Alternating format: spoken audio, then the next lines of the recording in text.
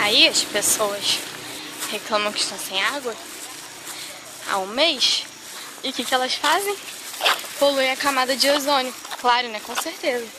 Tá um fedor de fumaça do cacete, tem cinza no meu cabelo. O pessoal tá lá. Querendo água. Cara, o pessoal não sabe aproveitar uh, o que tem perto de casa. Olha o tanto de água que tem aqui.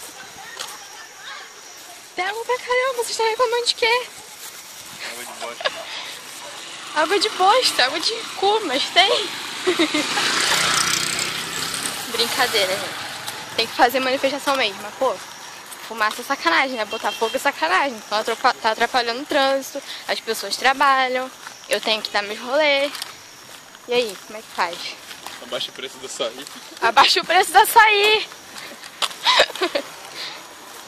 Abaixa o preço do miojo, o miojo tá caro. Das pingas, da vida. Da coca, por exemplo. Uma coca tá custando o quê? 5, 6 reais. Abaixa o preço da coca também, gente. Abaixa o preço Absurdo. Doritos, fandangos, fandangos é vida, chocolate, chocolate tinha que ser a centavos, porque, né, necessário, não dá pra viver sem. Daqui a pouco eles fazem manifestação. Nossa, que troço preto lá, meu Deus do céu. Daqui a pouco fazem manifestação pedindo pra limpar o valão. Mas aí o que, que você vê? Um monte de cano de cu pro lado de fora, jogando tudo pro valão, né? Pô, eu moro aqui, fala sério. Toda vez que eu passo pra ir pro colégio, pra sair de casa, enfim, tem que passar perto da água de cu dos outros sentir o cheiro.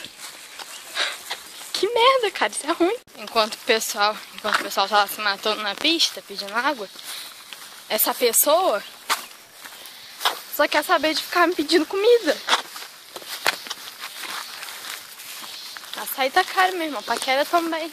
Comida, comida é vida. Comida é vida. Pra casa comer. Cada mamãe. Quanto a paquera do seu Elcio? Três pontos. Aí, ó. Três conto. Como assim, Elcio? Três conto. Eu lembro de quando paquera custava o quê? Dois reais. E era boa.